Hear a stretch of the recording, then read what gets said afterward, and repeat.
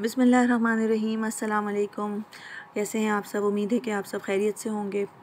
और आज मैं शेयर करूँगी सहरी में लस्सी की रेसिपी जो, जिसको पीने से आपको प्यास नहीं लगेगी, जिसको पीने से आपको रोज़े रोज़े में आसानी होगी।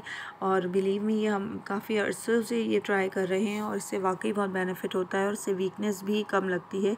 तो चलें, इसको स्टार्ट करते हैं। इसके अंदर मैंने हाफ़ के जी दही ली है। ये पाँच गिलास लस्सी की रेसिपी है। आप इसको कम ज़्यादा कर सकते हैं according to your requirement sugar चाहिए होगी। इसके अंदर पाँच गिलास है तो पाँच से छः टेबल स्पून के करीब आपको शुगर चाहिए होगी। और शुगर भी आप अपने टेस्ट के मुताबिक कम कर सकते हैं। कुछ लोग कम शुगर लेते हैं शुगर वाले कम ले सकते हैं शुगर और सॉल्ट चाहिए नमक। इसके अंदर एक बड़ा पिंच चाहिए होगा नमक का।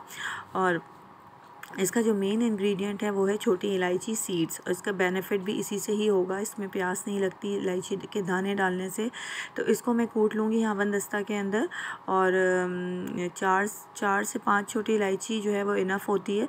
इसको कूटने के बाद इसके दानों को अलग अलग कर लूँगी और उसके बाद इसके दाने, इसके अंदर इसके छिलके नहीं जाएँगे, इसके अंदर सिर्फ़ इसके दाने जाएँगे जो इसको मैं इसके अंदर डाल दूँगी। अगर आप मेरे चैनल पर नए हैं तो मुझे सब्सक्राइब ज़रूर करिएगा और लाइक, कमेंट कमेंट शेयर करके मेरी हौसला अफजाई करिएगा। और बेल आइकन को प्रेस कर लेंगे तो you will be updated with my new video तो आपके पास नोटिफिकेशन आ जाएगा। और अभी कमिंग अब नेक्स्ट जो है मैं रमज़ान की दुआ शेयर करूँगी, जो आप सब ज़रूर सुनिएगा। और मुझे भी लैलतुल कदर में इन ताक़रातों में अपनी दुआओं में याद रखिएगा। अल्लाह ताला हम सबको अपने हिफ्ज़ अमान में रखे। और इसके अंदर दूध डलेगा दूध डलेगा इसके अंदर दो कप के करीब और अच्छा मैं दूध का इस्तेमाल ज़्यादा करती हूँ, पानी कम डालती हूँ क्योंकि इससे रिश बनती है लस्सी और पानी जो है वो हाफ़ डलेगा, दूध जितना डलेगा उसका हाफ़ पानी डलेगा। तो हाफ़ जैसे दो कप दूध है तो एक कप पानी डलेगा और उसके बाद इसको ब्लेंडर में ब्लेंड कर लेंगे।